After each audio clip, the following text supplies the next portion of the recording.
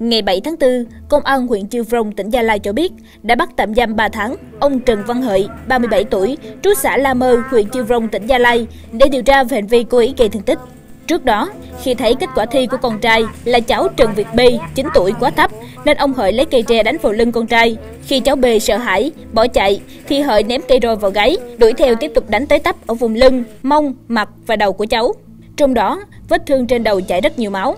Khi hàng xóm thấy cháu B bị bạo hành giả mang, đã đề nghị đưa cháu B đến bệnh viện chữa trị, nhưng ông Hợi không chấp nhận. Sau đó, hàng xóm đã báo tin cho mẹ ruột của cháu B là bà Bế Thị Thanh Loan, 38 tuổi, đến đưa cháu B tới bệnh viện Nhi tỉnh Gia Lai điều trị. Kết quả giám định, cháu B tổn hại 15% sức khỏe. Khi bị công an mời lên làm việc, ông Hợi thừa nhận nhiều lần đánh con vì quá lì lợm, không nghe lời.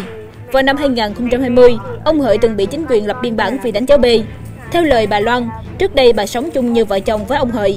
Khoảng 5 năm trước, nhiều lần bị chồng đánh đập, bà Loan đưa cháu B sang xã La Lâu, huyện Chiêu Rong để sinh sống.